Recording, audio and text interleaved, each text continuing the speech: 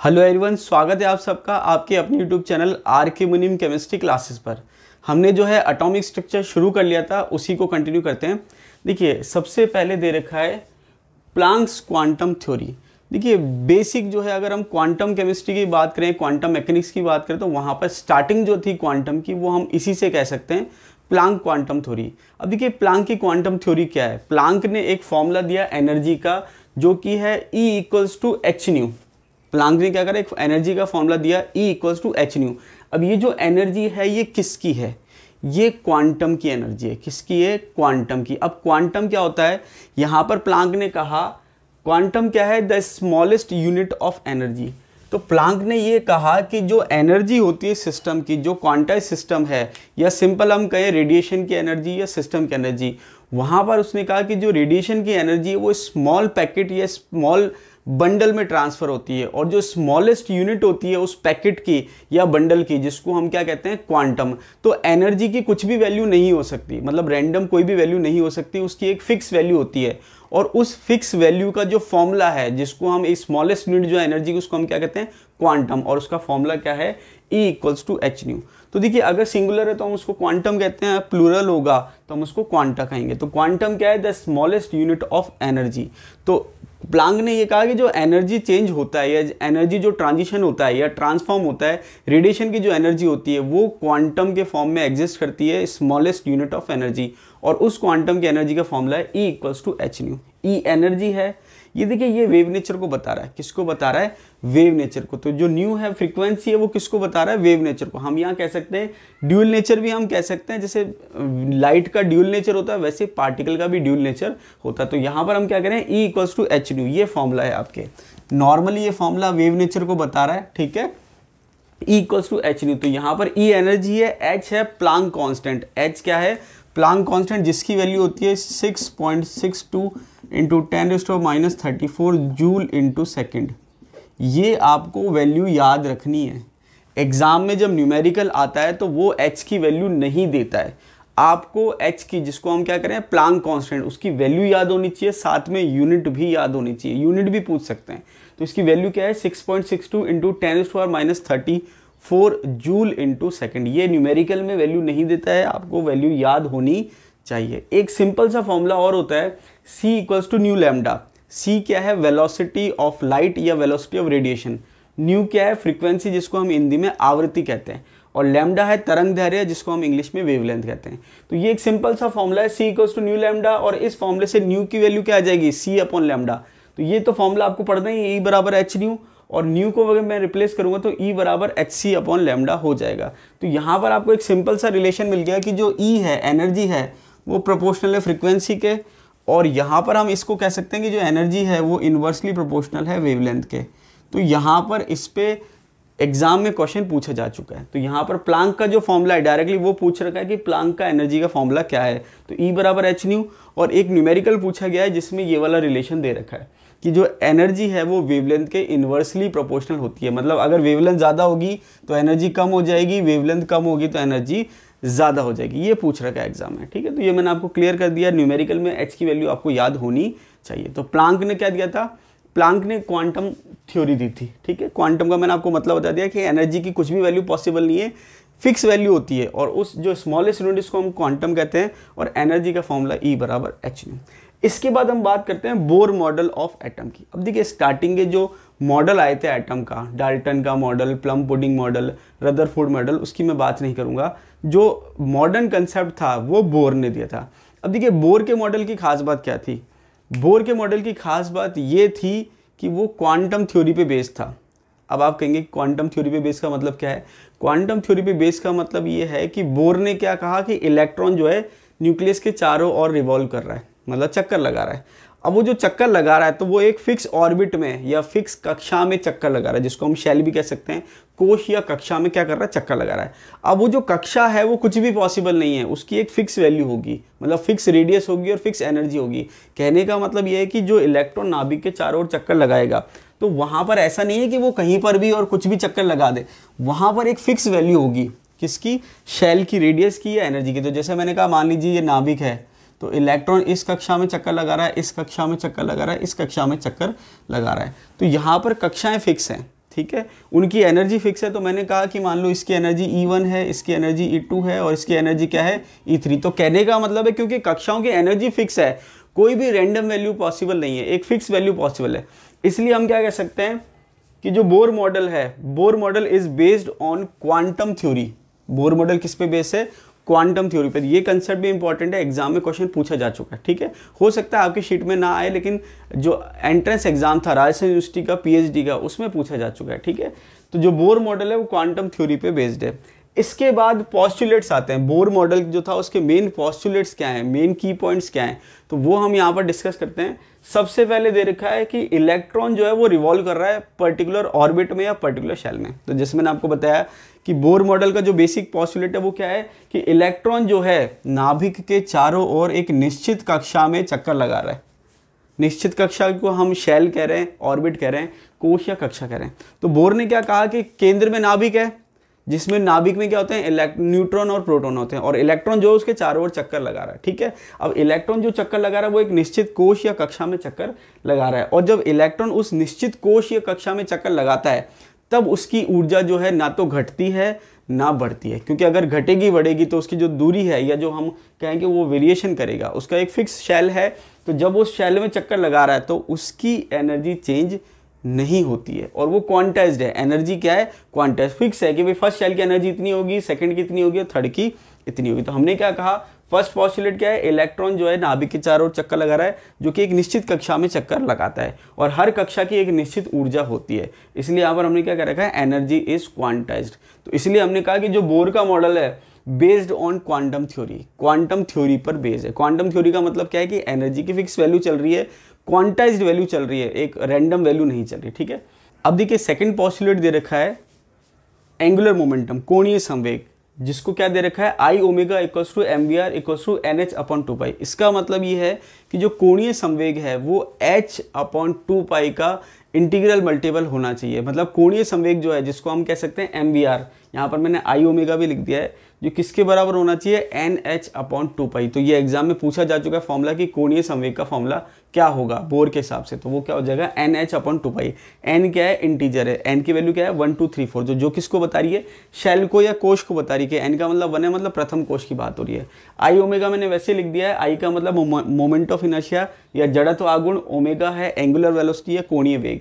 M mass of electron V velocity of electron R radius of electron तो ये जो formula है M B R equal to N H upon two pi ये आपको याद होना चाहिए। अगर मैं कहूँ एन की वैल्यू वन है तो फॉर्मूला क्या हो जाएगा? एच अपॉन टू पाई अगर मैं कहूँ एन की वैल्यू टू है तो ये हो जाएगा two H upon two pi ये हम कह सकते हैं एच अपॉन पाई। और अगर मैं कहूँ एन की वैल्यू थ्री है तो ये हो जाएगा three H upon two pi तो ये आपको फॉर्मूला याद होना चाहिए। नेक्स्ट जो पॉस्टुलेट है, वो है del E equals to E F minus E I equals to H nu इसका क्या मतलब है? इसका मतलब ये है कि जब इलेक्ट्रॉन एक निश्चित कोश में या कक्षा में चक्कर लगा रहा है तब उसकी एनर्जी फिक्स है। मतलब हर कोश की, हर शेल की एनर्जी क्या होती है? फिक्स होती है। लेकिन अगर जब तक वो उस कोश में चक्कर लगा रहा है, उसकी एनर्जी में चेंज नहीं आएगा। जैसे मान लीजिए मैंने कहा ये इलेक्ट्रॉन फ़र्स्ट शेल में चक्कर लगा रहा है तो उसकी एनर्जी जो है वो फिक्स रहेगी चेंज नहीं होगी। लेकिन अगर ये ट्रांजिशन कर रहा है ट्रांजिशन का मतलब एक कोश से दूसरे कोश में या एक कक्षा से दूसरी कक्षा में जा रहा है तो वहाँ उसकी एनर्जी में क्या होगा? चेंज होगा। तो जैसे मान लीजिए मैंने कहा ये इलेक्ट्रॉन यहाँ से यहाँ गया। तो ये मैंने कहा एन इक्वल्स टू वन था और ये है एन इक्वल्स टू टू तो यहाँ ट्रांजिशन किससे हुआ? एन वन से एन टू तक. तो यहाँ पर मैंने सिंपल लिख दिया है ई एफ़ माइनस ई आई क्योंकि नोटेशन क्या है? कई बार वेरी कर जाता है. किसी में वन माइनस टू होता है, किसी में टू माइनस वन होता है, कुछ भी हो सकता है. तो यहाँ मैंने सिंपल सा कर दिया ई एफ़ माइनस ई आई मतलब E final minus E initial इसका मतलब जो लास्ट जहाँ पर इलेक्ट्रॉन गया, वो फाइनल शेल है और उसका नंबर जो है वो इधर आ जाएगा और जो स्टार्टिंग का शेल है वो यहाँ आ जाएगा। तो इस केस में मैं क्या लिखूँगा? क्योंकि वन से टू पे गया तो इसको मैं E two minus E one लिख सकता हूँ। अब यहाँ पर ये क्या कह रहा है कि जब वो निश्चित कक्षा में चक्कर लगा रहा है, तब तो उसकी एनर्जी में चेंज नहीं होगा। लेकिन जब वो ट्रांजिशन कर रहा है, तब एनर्जी चेंज होगी। अब एक कंसेप्ट आपको ये ध्यान रखना है कि जब शेल जो है वो दूर की तरफ़ जा रहा है मतलब पास वाले शेल से दूर वाले शेल की तरफ़ जा रहा है तो यहाँ पर ये क्या करेगा? रेडिएशन एब्जॉर्ब करेगा। क्या करेगा? रेडिएशन एब्जॉर्ब करेगा। मतलब रेडिएशन को क्या करेगा? एब्जॉर्ब ऊर्जा को अवशोषित करेगा। फोटोन को एब्जॉर्ब करेगा। और अगर ये दूर से पास आ रहा है मतलब यहाँ हम क्या कह सकते हैं कि ये फोटोन एब्जॉर्ब कर रहा है, ठीक है? और अगर ये दूर से पास जा रहा है तो हम कहेंगे कि फोटोन को क्या कर रहा है? एमिट कर रहा है। तो ये एक कंसेप्ट है, ये आपको ध्यान रखना है कि अगर इलेक्ट्रॉन दूर जा रहा है तो यहाँ पर पास वाले कोश की ऊर्जा कम है, दूर वाले कोश की ऊर्जा ज़्यादा है। तो अगर ये दूर जा रहा है मतलब कम ऊर्जा से ज़्यादा ऊर्जा पे जा रहा है मतलब इसने ऊर्जा क्या है, अवशोषित करी है। तो अगर ये पास से दूर जा रहा है तो फोटोन को एब्जॉर्ब कर रहा है रेडिएशन को एब्जॉर्ब कर रहा है। और दूर से पास जा रहा है तो फोटोन को एमिट कर रहा है, और रेडिएशन को क्या कर रहा है एमिट क्योंकि कई बार क्या है, वो जब एनर्जी इस पर न्यूमेरिकल पूछता है तो प्लस माइनस का साइन आ जाता है। तो वहाँ पर आपको एब्जॉर्ब कर रहा है या एमिट कर रहा है, ये ध्यान होना चाहिए। समझ में आगे बात? अगर वन से टू पे जा रहा है टू से थ्री पे जा रहा है या वन से थ्री पे जा रहा है तो रेडिएशन एब्जॉर्ब हो रही है। और अगर थ्री से टू पे आ रहा है या थ्री से वन पे आ रहा है या टू से वन पे आ रहा है तो रेडिएशन एमिट हो रही है। ये आपको ध्यान होना चाहिए। तो यहाँ पर यह क्या कहना चाह रहा है कि जो डेल ई e है मतलब जब ये ट्रांजिशन करेगा एक कोश से दूसरे कोश पे जाएगा तो एनर्जी में चेंज आएगा। वो एनर्जी में चेंज कैसे आएगा? या तो वो फोटोन को एब्जॉर्ब करेगा, या वो फोटोन को एमिट करेगा। तो जो फोटोन की एनर्जी है, वो उस दो शेल की एनर्जी के डिफरेंस के बराबर होगी। तो यहाँ पर हमने क्या कहा? एनर्जी डिफरेंस किसका? शेल का। ई एफ़ माइनस ई आई जो कि किसके बराबर है? फोटोन की या क्वांटम की जो एनर्जी है एच न्यू उसके बराबर होगी। तो यहाँ पर आपके दो तरह से क्वेश्चन बनते हैं। एक कंसेप्ट आपके ये काम आएगा कि फोटोन एब्जॉर्ब हो रहा है या एमिट हो रहा है। दूसरा कंसेप्ट ये है कि कौन से शेल से, कौन से शेल पे ट्रांशन हो रहा है, उसकी एनर्जी कितनी होगी। हालाँकि वैल्यू नहीं पूछी है ऑर्डर पूछते हैं। वो मैं आपको बाद में बताऊँगा जब एनर्जी का हम फॉर्मूला पढ़ेंगे। ये कंसेप्ट आपको ध्यान होना चाहिए कि जब इलेक्ट्रॉन एक कोष से दूसरे कोष पे जा रहा है तो ऊर्जा में परिवर्तन हो रहा है। ऊर्जा बढ़ भी सकती है और ऊर्जा घट भी सकती है। अगर दूर जा रहा है तो ऊर्जा बढ़ रही है और पास आ रहा है तो ऊर्जा घट रही है। दूर जा रहा है तो फोटोन एब्जॉर्ब कर रहा है या रेडिएशन एब्जॉर्ब कर रहा है और पास आ रहा है तो रेडिएशन एमिट कर रहा है या रेडिएशन उत्सर्जित कर रहा है। तो ये आपको ध्यान होना चाहिए। क्लियर है? तो यहाँ पर ये क्या कह रहा है? क्योंकि एनर्जी फिक्स है। कोशों की तो जो ट्रांजिशन की एनर्जी है वो भी फिक्स होगी। ये ध्यान रखना है। ये क्या कह रहा है कि एनर्जी जो है, कोश की, वो फिक्स है। या हम कहें क्वांटाइज्ड है। तो जो ट्रांजिशन की एनर्जी है, वो भी फिक्स होगी क्वांटाइज होगी। ठीक है? कुछ भी रैंडम वैल्यू नहीं हो सकती। इसके बाद आगे कह रहा है रेडियस ऑफ़ बोर ऑर्बिट तो ये तो मेन तीन पॉस्टुलेट्स थे। उसके बाद इसने तीन फॉर्मूले दे रखे हैं रेडियस का वेलोसिटी का और एनर्जी का।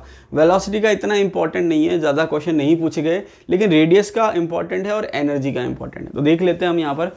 ये कह रहा है रेडियस ऑफ़ बोर ऑर्बिट तो देखिए, सबसे पहली बात तो रेडियस ऑफ़ बोर ऑर्बिट का मतलब क्या है कि ये जो नाभिक के चारों चक्कर लगा रहे इलेक्ट्रॉन इसकी रेडियस क्या है? त्रिज्या क्या है? देखिए सर्कुलर ऑर्बिट में चक्कर लगा रहा है बोर के हिसाब से ये क्या कर रहा है? इलेक्ट्रॉन सर्कुलर ऑर्बिट में चक्कर लगा रहा है। तो जब ये सर्कुलर ऑर्बिट में चक्कर लगा रहा है, गोलाकार कक्षा में चक्कर लगा रहा है तो इसकी त्रिज्या क्या है? तो त्रिज्या का एक फॉर्मूला दे रखा है। फॉर्मूला क्या है? R equals to H square upon four pi square M E square bracket में लिख दिया। एन स्क्वायर अपॉन जेड अब ये ब्रैकेट में क्यों लिखा है? क्योंकि ये वैल्यू कांस्टेंट है। ये पूरी वैल्यू क्या है? कांस्टेंट क्योंकि एच कांस्टेंट है फोर पाई स्क्वायर एम की वैल्यू कांस्टेंट है और ई e कांस्टेंट है। तो यहाँ पर ये पूरे जो कांस्टेंट है, उसको मैंने क्या लिख दिया? ए नॉट उसको मैंने क्या लिख दिया? ए नॉट तो यहाँ पर Bohr radius of Bohr orbit तो ये जो रेडियस हम शब्द लिख रहे हैं, त्रिज्या, कि बोर की कक्षा की त्रिज्या तो ये जो त्रिज्या है, ये क्या बता रहा? है मोस्ट प्रोबेबल डिस्टेंस ध्यान से सुनना। रेडियस जो है, वो बता क्या रहा है? इलेक्ट्रॉन की नाभिक से मोस्ट प्रोबेबल डिस्टेंस क्या है? उसको बता रहा है। समझ में आई बात? तो यहाँ पर अगर मैं कह रहा हूँ रेडियस ऑफ़ बोर ऑर्बिट इसका मतलब क्या है? Most probable distance of electron from nucleus समझ में आई बात? फ्रॉम सेंटर ऑफ़ न्यूक्लियस कह सकते हो कि नाभिक के केंद्र से इलेक्ट्रॉन की जो मोस्ट प्रोबेबल दूरी है, वो आपके रेडियस कहलाती है। ये स्मॉल कंसेप्ट है, ये आपको क्लियर होना चाहिए इसका मतलब क्या है। तो रेडियस ऑफ़ बोरो ऑर्बिट का फॉर्मूला दे रखा R equal to H square upon four pi square M square अब हालाँकि ये जो ब्रैकेट के अंदर की वैल्यू है, ये पूरा फॉर्मूला ये पूछा नहीं जाता नॉर्मली लेकिन फिर भी आपको याद रखना है एनर्जी के केस में एक बार पूछ लिया था, ठीक है? पूरा फॉर्मूला पूछ लिया था तो आप फिर भी याद कर लेना एक बार। तो R equal to H square upon four pi square M E square N square upon Z अब इसमें काम की चीज़ क्या है कि मान लीजिए ये तो बहुत रेयर पूछा जाए तो पूछा जाए, ये नॉर्मली नहीं पूछा जाता। तो हमने इसको क्या करा, एक कॉन्स्टेंट वैल्यू दे दी, जिसको मैंने कहा ए नॉट अब ए नॉट को मैं क्या कह रहा हूँ? बोर रेडियस ए नॉट को मैं क्या कर रहा हूँ? बोर रेडियस वो कई बार सिंपल पूछ लेता है कि बोर रेडियस की वैल्यू क्या होगी? तो बोर रेडियस किसको बता रहा है? ए नॉट को। अब ए नोट को कैसे बता रहा है कि मान लीजिए, अब यहाँ पर क्या ये तो कॉन्स्टेंट थी तो उसको मैंने ए नोट कह दिया। अब बचा एन स्क्वायर अपॉन जेड अब अगर मान लीजिए मैं कंडीशन लगा दूँ कि एन की वैल्यू वन है। एन की वैल्यू क्या है? वन है। और जेड की वैल्यू भी वन है। जेड की वैल्यू भी क्या है? वन है। मतलब एन मतलब ग्राउंड स्टेट में है और जेड का मतलब वन का मतलब हाइड्रोजन एटम है। क्या है? हाइड्रोजन एटम तो उस केस में जो फॉर्मूला होगा वो किसके बराबर आ जाएगा? ए नॉट के बराबर।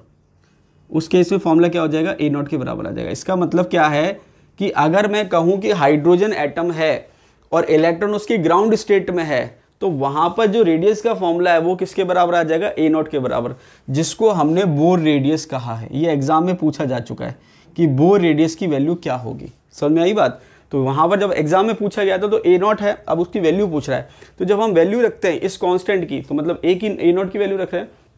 वैल्यू ये आ रही है। मैंने सारी यूनिट में मेंशन कर दी है ताकि आपको कंफ्यूजन ना हो।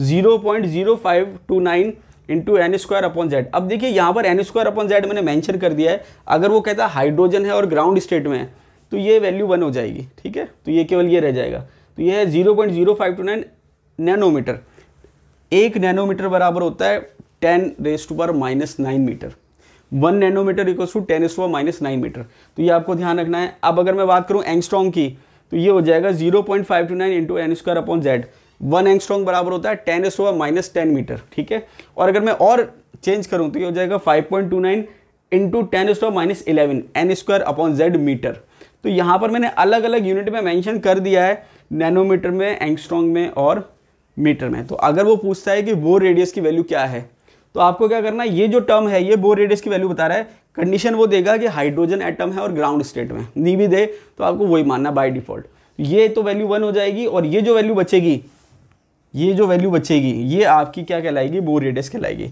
और बोर रेडियस का मतलब क्या है? Most probable distance of electron from centre of nucleus ठीक है? इसके अलावा एक क्वेश्चन और पूछा गया है एक्सपेक्टेशन वैल्यू जिसको हम एवरेज वैल्यू भी कह सकते हैं. तो एक्सपेक्टेशन वैल्यू की अगर हम बात करें तो वहाँ पर वो भी किसकी बात करेगा? हाइड्रोजन की और ग्राउंड स्टेट की, कि एक्सपेक्टेशन वैल्यू मतलब एवरेज वैल्यू क्या है? देखिए मोस्ट प्रोबेबल अलग चीज़ होती है एवरेज अलग चीज़ होती है। तो अगर मोस्ट प्रोबेबल पूछ रहा है या आपके रेडियस पूछ रहा है तो ए नॉट है। और अगर वो पूछ रहा है एवरेज या एक्सपेक्टेशन वैल्यू तो वो आपके आएगी three by two A naught ये भी एग्ज़ाम में पूछा जा चुका है, और ये वाला तो नेट में भी पूछा जा चुका है नेट गेट में भी पूछा जा चुका है इंपॉर्टेंट है, क्योंकि ये हमारे नॉर्मली काम नहीं आता। इसलिए आपको ध्यान रखना है कि ये आपको ध्यान रखना है और ये भी आपको ध्यान रखना है। कई बार क्या होता है, हम फॉर्मुले तो याद कर लेते हैं, लेकिन हमें पता नहीं कि बोर रेडियस का मतलब क्या है और बोर रेडियस की वैल्यू किसको कहते हैं। तो इसलिए हम क्वेश्चन कई बार अटैम्प्ट नहीं कर पाते। तो ये दोनों क्वेश्चन पूछ रखे हैं। इसके अलावा ये पूछ रखा है कि जो रेडियस है, वो एन से क्या रिलेशन है? तो मैं आपको यहाँ बता देता हूँ कि जो रेडियस है, वो एन स्क्वायर के प्रोपोर्शनल है। मैं आपको यहाँ बता देता हूँ कि जो रेडियस है, वो एन स्क्वायर के प्रोपोर्शनल है। तो ये भी एग्ज़ाम में पूछा जा चुका है। तो देखिए, यहाँ पर मैं आपको बता देता हूँ उस पर कैसे कैसे क्वेश्चन बन सकते हैं। तो यहाँ पर सिंपल सा हम कह सकते हैं R is proportional to N square condition क्या है? जब जेड कॉन्स्टेंट हो। जब क्या हो? जेड कांस्टेंट हो। जेड कांस्टेंट का मतलब ये है कि सिस्टम कांस्टेंट जैसे मैंने कहा हाइड्रोजन है तो हाइड्रोजन के लिए जेड की वैल्यू वन है। अब हाइड्रोजन में जेड की वैल्यू वन है, वहाँ पर मैं कंपेयर कर रहा हूँ एन से कि भाई एन वन होगा तो क्या होगा? एन टू होगा तो क्या होगा? तो मैंने कहा कि अगर मान लीजिए हाइड्रोजन एटम है, क्या है? हाइड्रोजन एटम ये मैंने सिस्टम फिक्स कर दिया। तो यहाँ पर आप कह सकते हो कि आर वन की वैल्यू आर वन का मतलब क्या है कि जब एन की वैल्यू वन है, जब एन की वैल्यू क्या है वन है तो ये आ जाएगी आपकी ए नॉट। ठीक है? और फिर मैंने कहा आर टू की वैल्यू तो ये आपकी क्या आएगी, क्योंकि एन स्क्वायर के प्रोपोर्शनल है तो ये हो जाएगी फोर ए नॉट के बराबर। और आर थ्री की वैल्यू क्या हो जाएगी नाइन ए नॉट। तो यहाँ पर आप सिंपल सा कह सकते हो कि जो आर है वो प्रोपोर्शनल है एन स्क्वायर के, कब? जब जेड कांस्टेंट है। इसके अलावा अगर मैंने एन फिक्स कर दिया, या क्या कह दिया? एन कांस्टेंट है तो उस केस में क्या होगा? R is inversely proportional to Z उस केस में क्या होगा? R is inversely proportional to Z जब क्या है? एन कांस्टेंट है। इसका मतलब मैंने क्या कहा कि ग्राउंड स्टेट की मैंने बात कर दी। मतलब मैंने क्या कहा? एन की वैल्यू वन है। अब सिस्टम कुछ भी हो। सिस्टम में क्या लिख सकता हूँ? देखिए सिस्टम की यहाँ पर खास बात ये कि अभी पॉस्टुलेट्स में आपकी लिमिटेशन आएगी। वहाँ पर लिमिटेशन क्या आएगी जो बोर मॉडल है, वो एक इलेक्ट्रॉन के लिए ही फॉलो होता है वन इलेक्ट्रॉन सिस्टम के लिए। तो वहाँ पर आप क्या ले सकते हो? या तो हाइड्रोजन ले सकते हो, या हीलियम प्लस ले सकते हो, या लिथियम टू प्लस ले सकते हो ई तो अब यहाँ पर सिस्टम क्या चल रहा है कि इसके लिए जेड की वैल्यू वन है, इसके लिए टू है, इसके लिए कितनी है? थ्री है। तो अगर मान लीजिए, मैं ग्राउंड स्टेट की बात कर रहा हूँ तो मैंने कहा हाइड्रोजन के लिए रेडियस आ रही है ए नॉट तो हीलियम क्योंकि जेड के इन्वर्सली प्रोपोर्शनल है तो इसके लिए आएगी ए नॉट बाय टू और इसके लिए आएगी ए नॉट बाय थ्री तो ये आपको ध्यान रखना है कि यहाँ पर अगर मैं सिस्टम फिक्स कर रहा हूँ और रेड एन की वैल्यू चेंज कर रहा हूँ तो क्या रिलेशन है? R is proportional to N square और अगर मैंने क्या करा एन कांस्टेंट कर दिया सिस्टम चेंज कर रहा हूँ तो N R is proportional to one upon Z inversely proportional to Z तो ये मैंने आपको करके भी बता दिया कि रिलेशन क्या आएगा। तो यहाँ पर एग्ज़ाम में पूछा जा चुका है, ठीक है? और अगर दोनों वेरी कर रहे हैं तो आपको कुछ नहीं करना।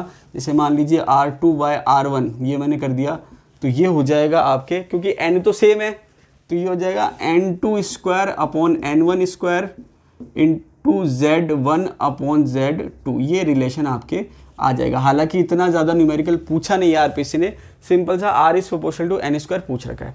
इसके अलावा ये पूछ रखा है और ये पूछ रखा है। तो ये थी बात रेडियस की। अब देखिए, आगे दे रखा है एनर्जी ऑफ़ बोर ऑर्बिट अगर हम बोर ऑर्बिट की एनर्जी की बात करें तो एनर्जी का फॉर्मूला क्या होगा? तो देखिए, यहाँ दे रखा है energy of Bohr orbit equals to minus two pi square M E की power four upon H square Z square upon N square जैसे मैंने आपसे कहा कि ये पूरा फॉर्मूला नॉर्मली नहीं पूछा जाता है, लेकिन एक बार पूछ लिया था हाइड्रोजन के लिए, ठीक है? तो यह पूरा फॉर्मूला याद कर सकते हो। E equals to minus two pi square M E की power four upon H square Z square upon N square. Z आप जानते ही हैं अटोमिक नंबर है, या हम कह सकते हैं प्रोटॉन की संख्या एन क्या है? नंबर ऑफ़ शेल या कोश की संख्या, ठीक है? तो ये फॉर्मूला आपने याद कर लिया। अब यहाँ पर न्यूमेरिकल के पॉइंट ऑफ़ व्यू से अगर हम बात करें तो ये फॉर्मूला आपके आ जाएगा। इस कांस्टेंट की वैल्यू आ जाएगी E equals to minus thirteen point six into Z square upon N square unit है इलेक्ट्रॉन वोल्ट पर एटम अब देखिए नॉर्मली यही यूनिट काम आती है। इसके अलावा आप चाहो तो जूल में भी कन्वर्ट कर सकते हो, लेकिन वो इतना ज़्यादा यूज़फुल नहीं है। दूसरी बात यह है कि यहाँ पर रेडियस के न्यूमेरिकल या एनर्जी के न्यूमेरिकल बहुत ज़्यादा आरपीएससी ने नहीं पूछे। नॉर्मली अगर देखा जाए तो पूछे ही नहीं है। लेकिन क्योंकि बेसिक्स है इंपॉर्टेंट फॉर्मूला है नेट में भी कई बार पूछे जा चुके हैं तो आप मान के चलिए कि अगर नया क्वेश्चन बनाना चाहती है आरपीएससी की रिपीटेड क्वेश्चन ना हो तो यहाँ से ज़रूर क्वेश्चन बन सकता है, ठीक है? तो E equals to minus thirteen point six Z square upon N square यहाँ पर ये माइनस साइन है। माइनस साइन क्या बता रहा है कि फाइनली जो है इलेक्ट्रॉन न्यूक्लियस से बाउंड है। तो जो बाउंडेशन है, वो ये साइन बता रहा है कि माइनस साइन है तो ये इलेक्ट्रॉन जो है बाउंड है न्यूक्लियस से। अगर ये माइनस की जगह वैल्यू ज़ीरो हो जाए, इसका मतलब वो क्या हो जाएगा? फ्री हो जाएगा। क्या हो जाएगा? फ्री हो जाएगा। अभी हम देखेंगे इसको आगे। तो ये फॉर्मूला आपको याद होना चाहिए और ये भी आप याद कर लेना। डायरेक्ट पूछा जाए तो आप बता सकते हैं, ठीक है? Equals to minus thirteen point six Z square upon N square electron volt per atom यहाँ पर साइड में मैंने आपको लिख दी value one electron volt equals to one point six into ten from minus nineteen joule ये unit conversion है कि भाई अगर आपको इलेक्ट्रॉन वोल्ट को जूल में कन्वर्ट करना हो तो आप इस फॉर्मूले से कन्वर्ट कर सकते हैं। अब यहाँ पर काम की बात क्या है? कि एक तो मैं आपको भी बताऊँगा कि रिलेशन जेड स्क्वायर और एन स्क्वायर से कैसे वेरी करेगा। यहाँ पर आपको क्या ध्यान रखना है कि जो ऑर्डर है एनर्जी का, क्योंकि माइनस साइन लगा हुआ है तो कई बार हम कन्फ्यूज़ हो जाते हैं कि भाई वैल्यू ज़्यादा है या कम है। जैसे फॉर एग्ज़ाम्पल अगर मैं कहूँ कि एन की वैल्यू बढ़ेगी, अगर ये माइनस आप भूल जाओ तो हमने क्या कहा? एन की वैल्यू अगर बढ़ेगी तो एनर्जी की वैल्यू क्या हो जाएगी? कम हो जाएगी। लेकिन वो जो माइनस साइन है, वो रिज़ल्ट को उल्टा कर रहा है। तो हम क्या कर रहे हैं कि अगर एन की वैल्यू बढ़ेगी तो एनर्जी की वैल्यू भी क्या होगी? बढ़ेगी। क्यों? क्योंकि माइनस साइन आ रहा है। अगर माइनस साइन नहीं आता तो हम कहते हैं एन की वैल्यू बढ़ने से एनर्जी कम हो रही है। लेकिन माइनस साइन आ रहा है तो वहाँ पर क्या होगा कि अगर एन की वैल्यू बढ़ेगी तो एनर्जी की वैल्यू क्या हो जाएगी? कम। अब ये ऐसा हो क्यों रहा है? इसका मैं आपको पूरा बता देता हूँ। तीनों के ऑर्डर दे रखे हैं। अगर मैं टोटल एनर्जी की बात करूँ तो एन को चेंज करने पर क्या ऑर्डर आ रहा है? कि टोटल एनर्जी का ऑर्डर है वन से ज़्यादा टू की टू से ज़्यादा थ्री की थ्री से ज़्यादा फोर फाइव सिक्स और जो ई इन्फाइनाइट है मतलब एन शेल जो है वो इन्फाइनाइट है, उसकी वैल्यू ज़ीरो आ रही है। इसका मतलब हम क्या मान रहे हैं कि माइनस में वैल्यू जितनी ज़्यादा होगी ओवरऑल एनर्जी क्या हो जाएगी, उतनी ही कम हो जाएगी। तो ये आपको दिमाग में क्लियर रखना है कि एन की वैल्यू अगर आप बढ़ा रहे हो तो मैग्नीट्यूड तो कम हो रहा है, लेकिन क्योंकि माइनस में वैल्यू कम हो रही है तो ओवरऑल एनर्जी बढ़ रही है। तो ये आपको सिंपल ध्यान रखना है कि जब आप एन की वैल्यू बढ़ा रहे हो तो टोटल एनर्जी का ऑर्डर क्या है? जैसे जैसे एन की वैल्यू बढ़ रही है एनर्जी बढ़ रही है। ठीक है? इसके बाद, अब डायरेक्टली प्रोपोर्शनली कह सकते हैं आप, क्योंकि स्क्वायर आ रहा है, ठीक है? दूसरा है पोटेंशियल एनर्जी तो पोटेंशियल एनर्जी और टोटल एनर्जी का जो रिलेशन है, वो सेम चल रहा है। मतलब जो डायरेक्शन है, वो सेम है। कैसे? कि पोटेंशियल एनर्जी का ऑर्डर भी यही है कि फ़र्स्ट की ज़्यादा सॉरी फ़र्स्ट से ज़्यादा सेकंड की सेकंड से ज़्यादा थर्ड की थर्ड से ज़्यादा फोर्थ की। ये आपको ध्यान रखना है। उसके बाद है काइनेटिक एनर्जी काइनेटिक एनर्जी का ऑर्डर उल्टा चल रहा है। काइनेटिक एनर्जी का ऑर्डर क्या चलेगा? इन दोनों से रिवर्स तो जैसे फ़र्स्ट सेकंड जो है टोटल एनर्जी और पोटेंशियल एनर्जी जैसे जैसे एन की वैल्यू बढ़ रही है एनर्जी की वैल्यू बढ़ रही है तो हमने क्या कहा? वन से ज़्यादा टू की टू से ज़्यादा थ्री की। यहाँ पर हमने कहा वन से ज़्यादा टू की टू से ज़्यादा थ्री की। लेकिन काइनेटिक एनर्जी का ऑर्डर उल्टा है। तो हमने क्या कहा? कि वन की ज़्यादा है, फिर उसके बाद टू की है और उसके बाद थ्री की है। क्योंकि अगर आप थोड़ी देर पहले आप थोड़ी देर बाद देखोगे कि जब हम वेलोसिटी का फॉर्मूला लिखेंगे तो वहाँ पर हम देखेंगे कि एन की वैल्यू बढ़ने से वेलोसिटी कम होती है। तो काइनेटिक एनर्जी क्या होता है? हाफ़ एम वी स्क्वायर तो अगर वेलोसिटी कम होगी तो काइनेटिक एनर्जी भी क्या हो जाएगी? कम. तो काइनेटिक एनर्जी का फॉर्मूला ऑर्डर क्या है? वन की ज़्यादा टू की, फिर थ्री की. तो देखिए, ये हालाँकि पूछा नहीं गया है, लेकिन कंसेप्चुअली इंपॉर्टेंट है। तो जो टोटल एनर्जी है, वो पोटेंशियल एनर्जी और काइनेटिक एनर्जी का सम होती है। अब यहाँ पर रिलेशन क्या है? रिलेशन ये है कि जो पोटेंशियल एनर्जी है, वो ट्वाइस है। टोटल एनर्जी की भी और काइनेटिक एनर्जी की भी। मतलब पोटेंशियल एनर्जी जो है, वो टोटल एनर्जी की दुगनी है। और पोटेंशियल एनर्जी जो है वो काइनेटिक एनर्जी की भी दुगनी है। फ़र्क ये है कि पोटेंशियल एनर्जी और टोटल एनर्जी माइनस में चल रहे हैं। तो यहाँ पर मैंने दोनों के लिए सिर्फ़ कोई साइन लिया। मतलब दोनों का साइन सेम है। टोटल एनर्जी भी माइनस में है और पोटेंशियल एनर्जी भी माइनस में है। लेकिन काइनेटिक एनर्जी के लिए मैंने यहाँ माइनस लगा दिया। इसका मतलब क्या है कि काइनेटिक एनर्जी प्लस में है तो पोटेंशियल एनर्जी क्या हो जाएगी? माइनस में हो जाएगी। तो यहाँ पर पोटेंशियल एनर्जी जो है वो टोटल एनर्जी की भी ट्वाइस है और काइनेटिक एनर्जी की भी ट्वाइस है। समझ में आ गई बात? अब यहाँ पर आप देखेंगे रिलेशन यही आ रहा है टू ई e और टू के ई इसका मतलब दोनों का जो मैग्नीट्यूड है वो तो बराबर है, लेकिन साइन अलग है। तो यहाँ पर टोटल एनर्जी जो है वो काइनेटिक एनर्जी के बराबर है, लेकिन साइन डिफरेंट है। तो ये हालाँकि बहुत ज़्यादा आर ने नहीं पूछा लेकिन ये नेट में पूछा जा चुका है, ये कंसेप्ट तो इसलिए मैंने आपको बता दिया, क्योंकि छोटा सा कंसेप्ट है, ये आपको पता होना चाहिए। तो एक तो आपको ये फॉर्मूला पूछा जा सकता है, एक ये फॉर्मूले पे न्यूमेरिकल आ सकता है, और इसके अलावा ये ऑर्डर आपको पता होना चाहिए। अब आती है बात, अब जैसे मान लीजिए मैं कहूँ हाइड्रोजन एटम के ग्राउंड स्टेट की एनर्जी क्या होगी? तो वहाँ पर आप क्या करेंगे? हाइड्रोजन एटम है तो Z की वैल्यू वन हो जाएगी, और ग्राउंड स्टेट है तो N की वैल्यू क्या हो जाएगी? वन तो सिंपल सा क्या आ जाएगा? E बराबर minus thirteen point six electron volt per atom ये आपकी वैल्यू आ जाएगी। इसके अलावा अगर मैं बात करूँ रिलेशन की तो हम क्या कह सकते हैं? E is proportional to one upon N square ये आप कह सकते हो कब? जब z कांस्टेंट है। इसके अलावा आप कह सकते हो E is proportional to Z square कब? जब एन कांस्टेंट हो।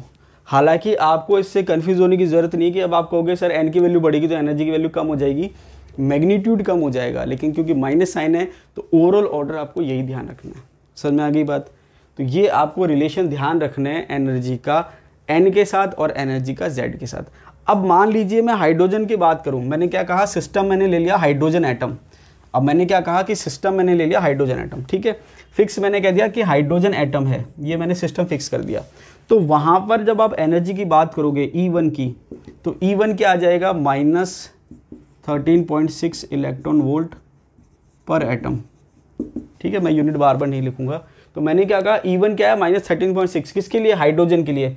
अब हाइड्रोजन का मतलब जेड की वैल्यू वन हो गई और मैंने वन लिख दिया मतलब एन की वैल्यू भी वन है। तो जब दोनों की आप वैल्यू वन करोगे तो ये क्या हो जाएगा? Minus thirteen point six unit बार बार रिपीट नहीं करेंगे। ये मैंने कहा ई e टू अब अगर मैंने कहा सेकेंड शेल है तो वहाँ पर एनर्जी का फॉर्मूला क्या होगा? तो वहाँ पर हो जाएगा minus thirteen point six upon four क्यों? क्योंकि हाइड्रोजन है तो जेड तो फिक्स है और एन की वैल्यू टू का स्क्वायर कितना हो गया? फोर अगर मैं कहूँ ई e की ये ई थ्री है तो ये हो जाएगा minus thirteen point six upon nine और लास्ट में जब मैं ई e इनफाइनाइट करूँगा तो उसकी वैल्यू ज़ीरो आ जाएगी। अब यहाँ पर मैं ये आपको इसलिए बता रहा हूँ कि कई बार क्या होगा कि आपसे पूछेगा एनर्जी का रिलेशन वो क्या कहेगा कि ट्रांजिशन हो रहा है। ट्रांजिशन कैसे हो सकता है? ई e वन से ई e टू हो सकता है। ई टू से ई थ्री हो सकता है, या फिर ई टू से ई फोर हो सकता है। और भी कई ट्रांजिशन जैसे एक और लिख देता हूँ, यहाँ लिख देता हूँ। ई टू से ई इनफाइनेट हो सकता है। ये मैं आपको एक ट्रांजिशन बता रहा हूँ। अब ये मैंने जितने भी ट्रांजिशन लिखे हैं, ये नीचे से ऊपर जा रहे हैं। मतलब वन से टू है, या टू से थ्री है, ये टू है, ये टू से थ्री है, ये टू से फोर है, वो टू से इनफाइनेट है। तो ये मैंने सारे ट्रांजिशन लिख दिए नीचे से ऊपर, जिसमें रेडिएशन एब्जॉर्ब हो रही है। अगर मैं इसका रिवर्स करूँगा तो रेडिएशन एमिट हो जाएगी तो रिवर्स लिख देता हूँ। टू से वन, ठीक है? यहाँ पर थ्री से टू, यहाँ पर फोर से टू, और लास्ट में है इनफाइनाइट से टू। तो वो क्या पूछता है कि निम्न ट्रांजिशन में से सबसे ज़्यादा रेडिएशन जो है, सबसे ज़्यादा एनर्जी किसमें एब्जॉर्ब हो रही है? तो पहली बात तो आपको ध्यान रखना जब एब्जॉर्ब टर्म काम में ले लिया तो ये वाले ट्रांजिशन आएँगे। और अगर वो कह रहा है रेडिएशन एमिटोरी है एनर्जी की तो ये वाले टर्म काम आएँगे।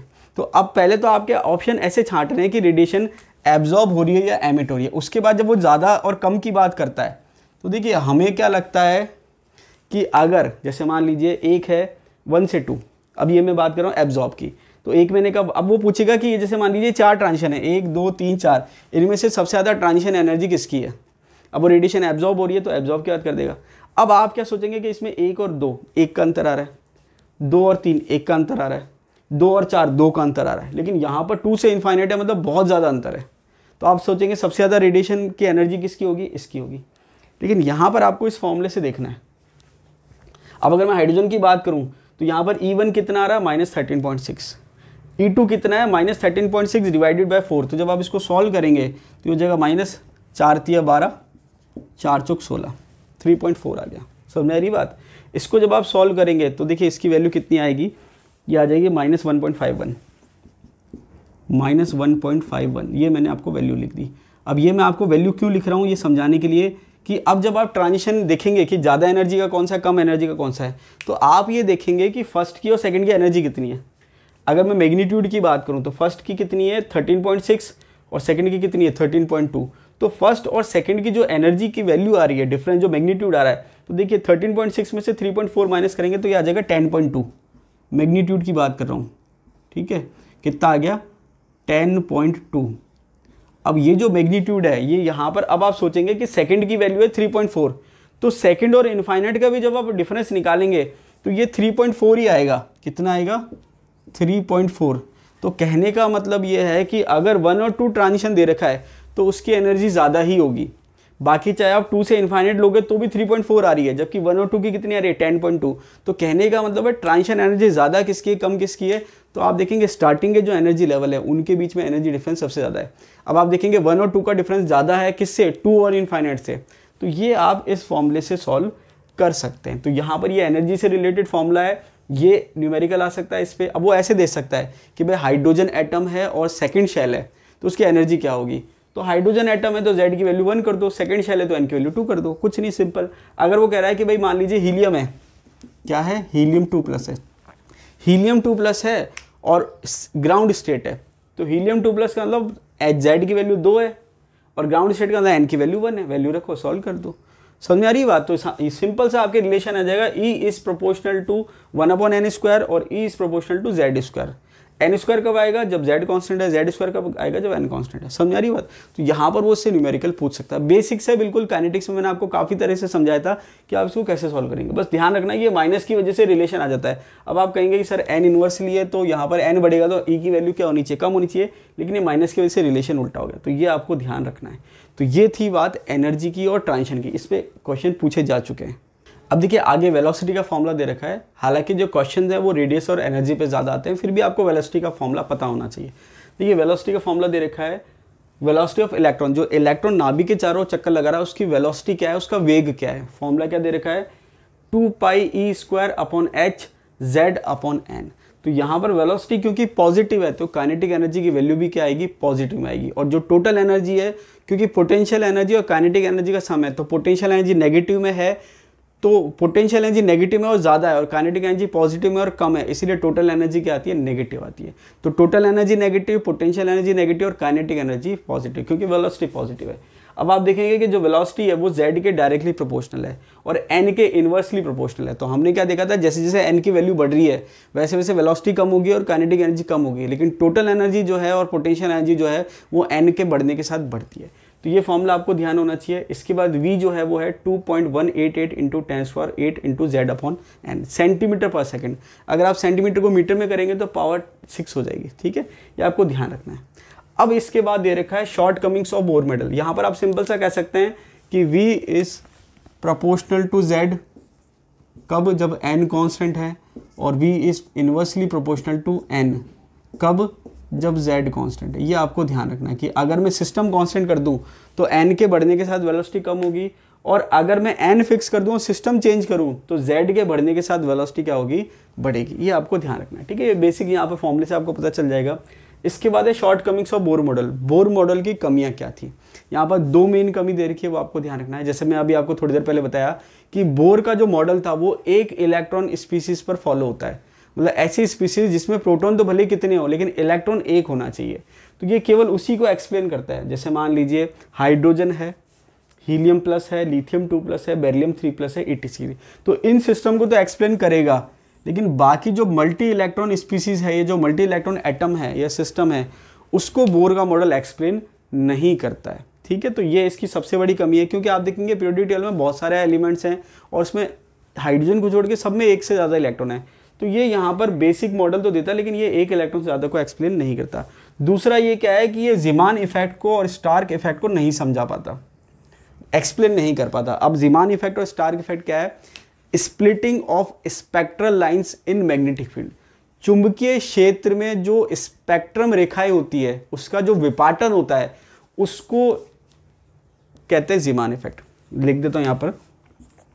Splitting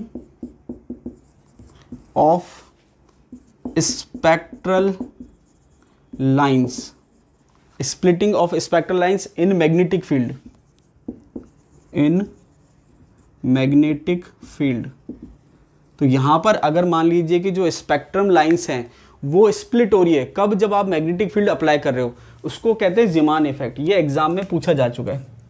कि भाई, अगर मैग्नेटिक फ़ील्ड में स्पेक्ट्रल लाइंस स्प्लिट होती है, उसको क्या कहते हैं? तो इसका आंसर क्या होगा? जिमान इफ़ेक्ट या आपसे को पूछे जिमान इफ़ेक्ट क्या होता है? तो आप कहेंगे splitting of spectral lines in magnetic field तो ये तो हो गया जिमान इफ़ेक्ट ये एग्ज़ाम में पूछा जा चुका है और इसकी कमी क्या है कि ये जिमान इफ़ेक्ट को नहीं समझा पाया। अब अगर मैं कहूँ स्टार्क इफ़ेक्ट तो सिंपल सा हो जाएगा splitting of spectral lines in electric field electric क्षेत्र में अगर स्पेक्ट्रल लाइंस स्प्लिट हो रही है, उसको कहते हैं स्टार्क इफ़ेक्ट तो ये इसकी कमियाँ हैं. तो जिमान इफ़ेक्ट एग्ज़ाम में पूछा जा चुका है. समझ में आ रही बात? तो ये थी बात बोर मॉडल की और उसकी शॉर्ट कमिंग्स की. अब जो टॉपिक बच रहे हैं एटॉमिक स्ट्रक्चर में वो बच रहे हैं क्वांटम नंबर्स और इलेक्ट्रॉनिक कॉन्फ़िगरेशन ये दो टॉपिक बच रहे हैं. दो वीडियो में हमारा जो है थ्योरी कंप्लीट हो जाएगी. उसके बाद दो वीडियो हम क्वेश्चन के बनाएँगे. तो यहाँ पर दो थ्योरी के और दो क्वेश्चन के. चार वीडियो में आपका जो एटॉमिक स्ट्रक्चर है, वो क्या हो जाएगा? कंप्लीट हो जाएगा. आज के लिए इतना ही। वीडियो अच्छा लगा तो लाइक कीजिए, दोस्तों या शेयर कीजिए। और अगर आप चैनल पे नए हैं तो चैनल को सब्सक्राइब कर लीजिए। अब देखिए, जो चैनल पे नए हैं, वो आप क्या करिए चैनल को सब्सक्राइब कीजिए। उसके बाद प्लेलिस्ट में जाइए। प्लेलिस्ट में जब आपको जाएँगे तो वहाँ पर जो यूनिट मैंने कंप्लीट करा दिए, उन सब की मैंने प्लेलिस्ट बना रखी है। जैसे आपको काइनेटिक्स मिल जाएगा, उसके बाद आपको इलेक्ट्रोकेमिस्ट्री मिल जाएगा सॉल्यूशन मिल जाएगा थर्मोडाइनमिक्स मिल जाएगा। आइनिक इक्विलिब्रियम मिल जाएगा। और जो स्ट्रेटेजीज हैं, जो आर से रिलेटेड जो मैंने वीडियो बनाया, चाहे वो सिलेबस का डिस्कशन हो, या स्ट्रेटेजी हो, या और भी जो चीज़ें हो, वो मैंने आपको आर स्कूल लेक्चरर की जो प्लेलिस्ट है, उसमें बता रखी है। तो जो नए हैं, वो क्या करिए कि आप चैनल को सब्सक्राइब करिए। सब्सक्राइब करने के बाद आपकी जो प्लेलिस्ट है, वहाँ जाइए। प्लेलिस्ट में आपको ये सारी प्लेलिस्ट मिल जाएगी एटॉमिक स्ट्रक्चर भी मिल जाएगा आपको, जो चल रहा है अभी थर्मोडाइम्स काइनेटिक्स ये सारे मिल जाएँगे। और कई बार बच्चे वापस पूछते हैं, मैं आपको वापस बता दूँ कि जो आपके फ़र्स्ट ग्रेड का जो सिलेबस है, रिवाइज सिलेबस, नया जो सिलेबस है, ये मैं आपको कंप्लीट कराऊँगा और वीडियो जो है टोटली फ्री है। मतलब आपको कोई भी चार्ज पे करने की ज़रूरत नहीं है, टोटली फ्री है। तो बस आपको करना क्या है कि चैनल को आप सब्सक्राइब कीजिए और नोटिफिकेशन का जो बेल है उसको हिट कर लीजिए, ताकि जैसे ही मैं नया वीडियो अपलोड करूँ, आपको नोटिफिकेशन मिल जाए। और जो अब जो चैनल सब्सक्राइब कर रहे हैं, वो आप प्लेलिस्ट में जाइए, वहाँ आपको पुराने जो यूनिट हैं, वो सारे आपको वीडियो अवेलेबल हो जाएँगे। तो यहाँ पर पूरा कोर्स मैं आपको कराऊँगा और जो नया सिलेबस है, उसके अकॉर्डिंग कराऊँगा, ठीक है? इसके अलावा अगर आप चाहें तो नोट्स परचेस कर सकते हैं। नोट्स की कॉस्ट जो है, वो टू थाउज़ेंड रुपीज़ है। वो आपको इंग्लिश में मिलेंगे इंस्टॉलमेंट में मिलेंगे और हार्ड कॉपी में मिलेंगे। उसके लिए आपको कुछ नहीं करना। मेरा जो व्हाट्सएप नंबर है, वो मैं डिस्क्रिप्शन में दे दूँगा। उस पर आपको फ़ोन पे गूगल पे या फिर आप पेटीएम कर सकते हैं टू थाउज़ेंड रुपीज़ उसके बाद आप मुझे क्या करिए, मेरे व्हाट्सअप नंबर पे अपना नाम और पोस्टल एड्रेस सेंड कर दीजिए। उस एड्रेस पर मैं आपको हार्ड कॉपी में जो है नोट्स प्रोवाइड कराऊँगा इंस्टॉलमेंट में। लास्ट जो डेट मैंने आपको बताई है नोट्स प्रोवाइड कराने की, वो है 15 टू 20 अगस्त। 15 से 20 अगस्त तक मैं पूरे से पूरे जो आपके नोट्स हैं सिलेबस के, वो मैं आपको अवेलेबल करा दूँगा, जिसमें आपकी थ्योरी होगी प्लस जो आपके MCQ क्वेश्चन है वो आपको अवेलेबल हो जाएँगे। आरपीएससी के पिछले 20 साल के जितने भी क्वेश्चन पेपर है केमिस्ट्री से रिलेटेड उसमें वो सारे कवर हो जाएँगे। उसका बेनिफिट ये है कि एग्ज़ाम में उसी के आसपास क्वेश्चन पूछे जाते हैं और कई बार question as it is repeat होते हैं। तो जब मैं आपको क्वेश्चन सॉल्व कराऊँगा तो आरपीएससी स्कूल लेक्चर के जो क्वेश्चन है, वो भी सॉल्व कराऊँगा। उसके अलावा भी क्वेश्चन सॉल्व कराऊँगा। इसके अलावा आपको कुछ डिटेल पूछनी है तो आप मुझे मेरे व्हाट्सएप नंबर पर मुझे मैसेज कर सकते हैं। धन्यवाद।